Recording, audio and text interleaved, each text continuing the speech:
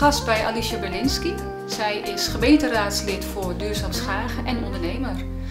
Alicia, zou je iets meer over jezelf willen vertellen? Ten eerste wat er mij uh, te binnen schiet, zeg maar, als ik over mezelf wil vertellen, is ondernemerschap en uh, initiator en transformator te zijn.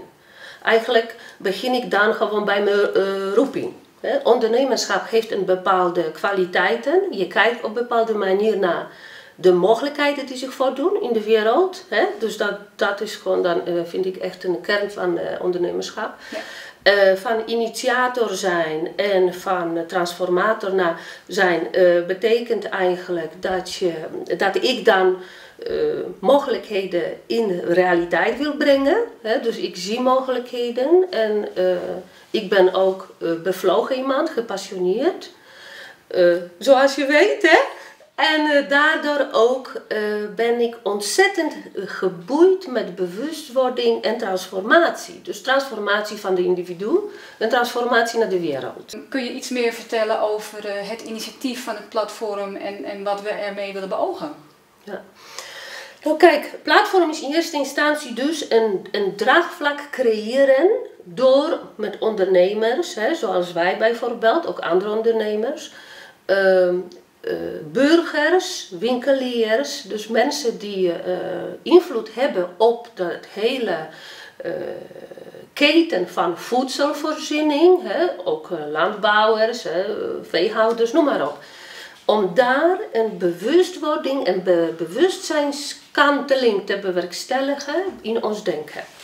Omdat wij mensen zijn, zijn heel creatief.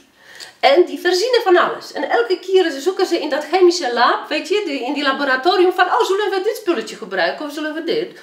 Maar dat allemaal heeft zo'n enorme impact dat wij onszelf eigenlijk een beetje voorbij hebben gelopen.